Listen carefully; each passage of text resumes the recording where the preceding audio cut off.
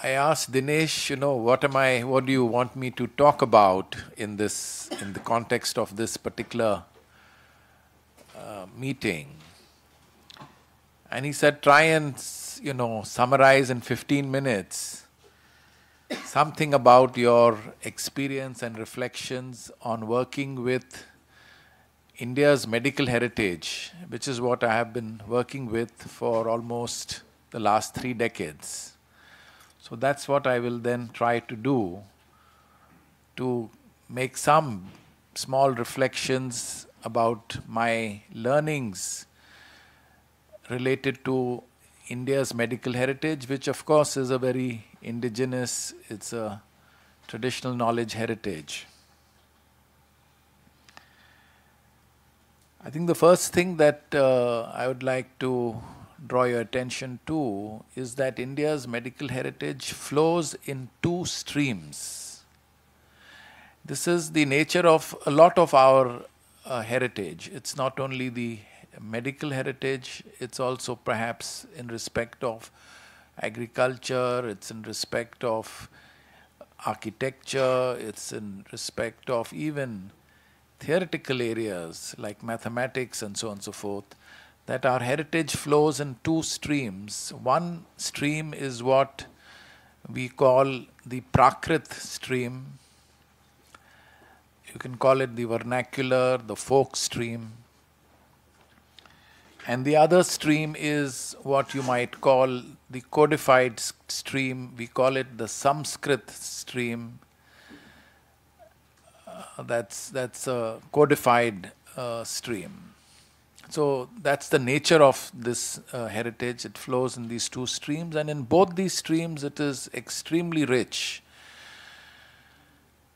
In the vernacular stream or the folk stream, it is ecosystem specific, it is ethnic community specific, It uses a very large number of biological resources, over 6,000 species of plants, several hundred species of animals, metals, minerals. And it's a living tradition.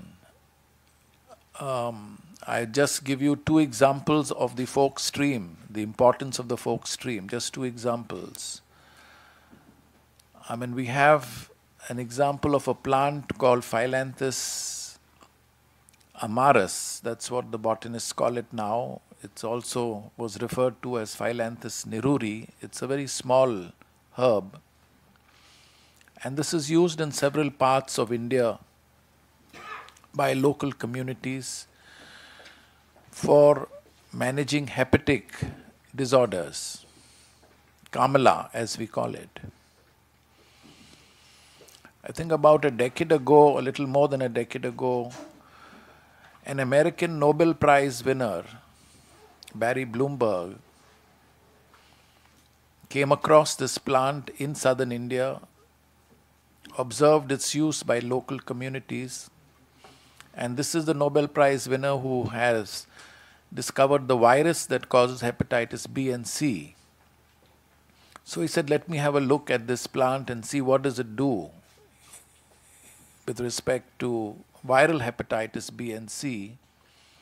And he found that indeed this plant, which ordinary communities, hundreds and thousands of people use for general hepatic disorders, also inhibits this virus, viral hepatitis B and C. And so that's another matter which I'm not going into he made actually a patent claim on this plant saying natives of southern India use this for general hepatic disorders, but our claim, along with an Indian scientist, is for viral hepatitis B and C, and of course, that was the virus that he himself had discovered.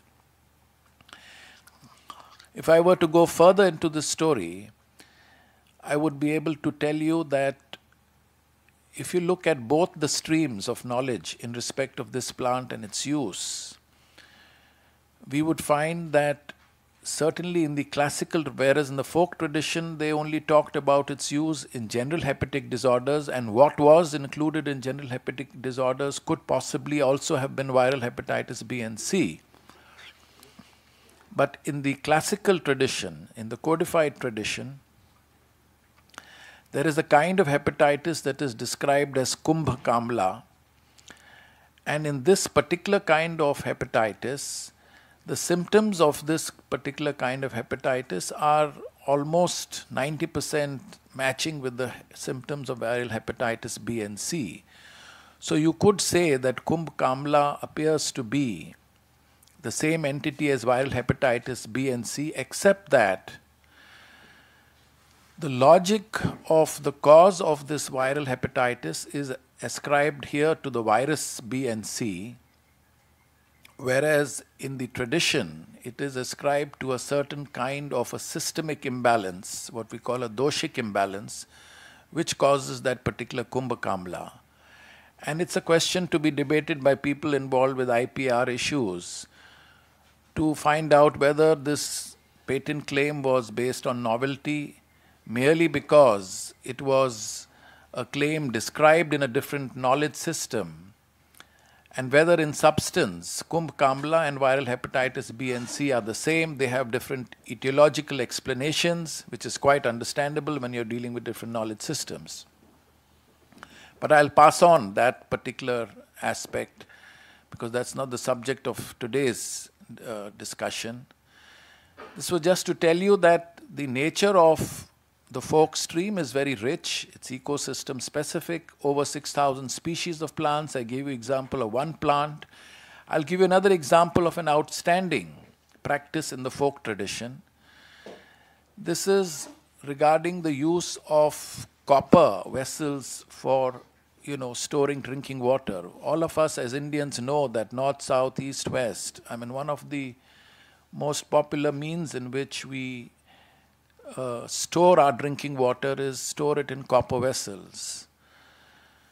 Now, really, when you examine this practice, you can see that um, uh, if you look at scientific studies on what happens when you store water in copper vessels, then you can see that within you know a few hours of storage, certainly in overnight storage, it depends on the surface of copper that is in touch with the water but certainly in overnight storage, you completely destroy the contact with copper, completely destroys all forms of E. coli, salmonella, cholera, vibrio cholera, and so on and so forth. So it turns out that this traditional method of storing water in copper vessels is perhaps the world's cheapest solution for microbial purification of water.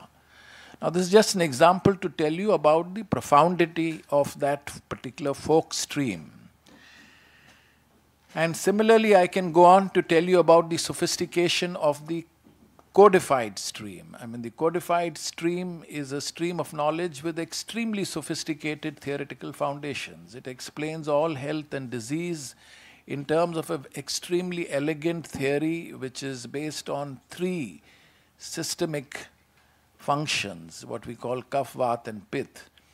Now, if you can explain all of health and disease, whether it's a chronic metabolic disorder or whether it's a cancer or whether it's a common cold or a simple diarrhea, in terms of three functional, you know, systemic three functions, kapha, vata, pith, indeed that's an extremely sophisticated and elegant theory. So I won't go further into this, but just to point out to you that what I have appreciated over the last three decades is the sophistication of this other stream, the, the, the Sanskrit stream. And incidentally, the word Prakrit and Sanskrit, you know, etymologically are related to the word Prakriti and Samskriti. Prakriti, that Kriti that has been going on from from time immemorial, Prakriti, Samskriti. When on Prakriti you do samskar, modification, reflection, generalization, you get Samskriti. There is no Samskriti without Prakriti. Prakriti goes on, heedless of Samskriti. Now, I believe I come to the second part that was just to give you a glimpse of the two streams of India's medical heritage, I come now to the second part of in 15 minutes' time, the second part of what I want to say. I believe that indigenous knowledge systems today provide the biggest and perhaps one of the most important sources for innovation. Why do I say so? I, I believe that the central problem of sustainability and development today in modern society is the imbalances of various kinds that are being caused by the application of Western cultural intellectual traditions, Western knowledge systems, modern knowledge systems, mainstream knowledge systems. The central problem is various kinds of imbalances, and I'm sure you've had around this table discussion about in the last two days, and there's enough that is written about this. Now, the reason for the imbalances, to my mind, is because of the particular limited, skewed, reductionist framework of modern knowledge systems. That we look at the whole of nature and the whole of the world in a partial, reduced, fragmented way. Now, of course, that, that, that, that is a reality there. There is a fragmented reality, there is a reduced reality, there is a partial reality, and it is real. But it is reduced, fragmented, and partial. And it is application of such kind of reduced, fragmented, partial knowledge that, to my mind, results in this enormous imbalances. And therefore, the central problem of innovation is how do you correct this imbalance? And that is why I believe that it is indigenous knowledge with its holistic framework that will provide the solution to the balance. And I come on now to the third part of what I want to share with you that I believe that it is really the bridging between traditional knowledge and mainstream Western knowledge systems that is a central that is a central challenge for coming out with creative, sustainable innovations in the years and centuries, decades ahead. In simplistic language, it is the challenge of bridging the whole and the part. And undoubtedly, the whole and the part are related. We can't say they are, they are unrelated. The whole is related to the part. And there is a relationship, and the challenge is in discovering the relationship, and the problem that we must avoid is putting an equal to there. That if you equate the whole to the part, you reduce, you know, the whole into the part, and that is that that's not acceptable. I mean, that's that's that's obviously a misconception. Or if you mistake the part to be the whole, then you are exaggerating. So, really, the challenge is to discover this relationship between the whole and the part, and that is a very challenging relationship because not even the sum of parts add up to make the whole, and yet the whole and part are related. And it is a discovery of this relationship, whether you apply it to agriculture or whether you apply it to medicine or whether you apply it to mathematics or whether you apply it to any field, that I believe that we can see happening, a lot of innovation coming out of this relationship. And therefore, what I'm saying in this third part of my presentation is that really the solution, the most important solution, the most important source for innovation is bridging in an appropriate way, in a cons- proper conceptual framework, traditional indigenous knowledge systems and uh, mainstream uh, uh, knowledge systems. So thank you. I think that's all that I have to say.